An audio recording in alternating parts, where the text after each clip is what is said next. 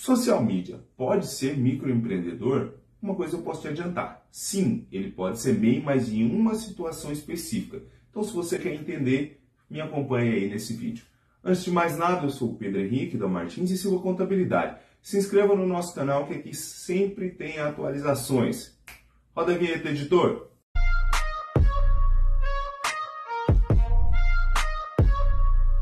Antes de mais nada, nós precisamos entender quem que é o profissional do social media, de onde veio, o que come, aonde habita. Hoje no Globo Repórter. Social media é aquele profissional que, através de estratégias dentro das redes sociais, vai levar a sua empresa, o seu negócio, sua influência para um determinado objetivo, seja aumentar as vendas, aumentar a sua influência dentro de um determinado grupo. Então, esse é o profissional de social media. Se você vende pacote de post e está falando que é social media, você não é social media, tá?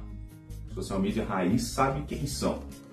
Então, se você é social media, já deixa o seu like aí, que eu sei que você tem isso entalado na garganta.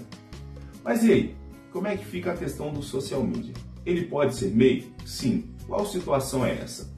Você que está atuando como produtor ou coprodutor, isso mesmo, nessas atividades você pode ser microempreendedor, porque você vai estar dando a sua nota, você vai fornecer a nota fiscal para o consumidor final, para a pessoa que comprou o curso. E essa atividade de cursos e treinamentos, inclusive vou deixar o KINAI aqui na descrição, ela pode ser microempreendedor. Mas tem aqueles aspectos do MEI que você precisa entender, que é a questão do faturamento, 81 mil reais por ano, mas se essa empresa for constituída no meio do ano, esse faturamento é proporcional. Então, você divide lá 81 mil reais por 12 meses, dá 6.400. Se essa empresa for constituída em julho, esse faturamento vai para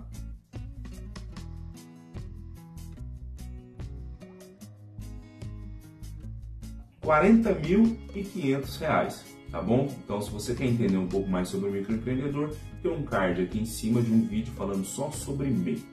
Para você que é social media, que está prestando consultoria, está prestando assessoria, está no campo de batalha, fazendo seus clientes crescerem, infelizmente você não pode ser microempreendedor. Infelizmente ou felizmente, porque o regime do MEI ele é muito simplificado, mas ele te restringe na questão do faturamento.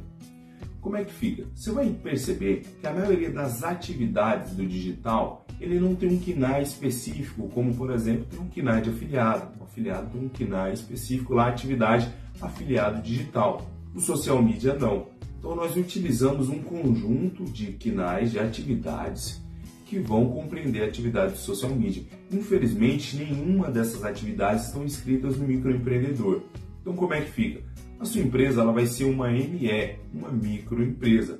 Ela vai estar lá no Simples Nacional, no anexo terceiro, e vai faturar, vai pagar imposto numa alíquota de 6%. Então, aquilo que você emitiu de nota fiscal durante o mês, você vai pagar 6% na primeira faixa.